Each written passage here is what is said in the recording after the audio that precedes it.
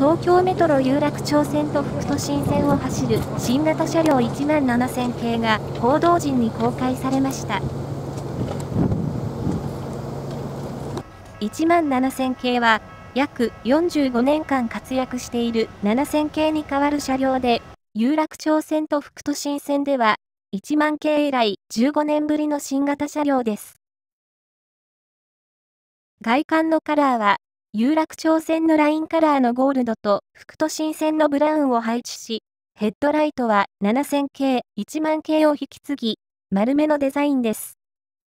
車椅子とベビーカーの位置が一目でわかるように、イラストを用いたピクトグラムを採用しています。省エネ性の向上が図られ、台車は東京メトロ線内での曲線通過性能と直通運転先での高速安定性を両立したボルスタ付き台車を使用しています。車内はモノトーンを基調にラインカラーを使用。一般座席の背面は有楽町線のラインカラー。釣り手の色は副都心線のラインカラーが採用されています。車内情報表示機器の右側では、行く先、運行情報などを多言語で、左側では各種 PR や広告などが表示されます。全車両にフリースペースが設置され、車椅子、ベビーカー、大きな荷物などに対応できます。また、フリースペース付近のドアは、下部の形状をホーム側へ傾斜させて、車両とホームの段差を軽減、車椅子やベビーカー利用での乗降の向上が図られています。乗務員室の機器配置は、相互直通他社の車両と共通化が図られ、3台のモニターが搭載され、通常は2画面で運用、残り1台は、他のモニター故障時のバックアップ用画面です。1万7000系の各車両をご覧ください。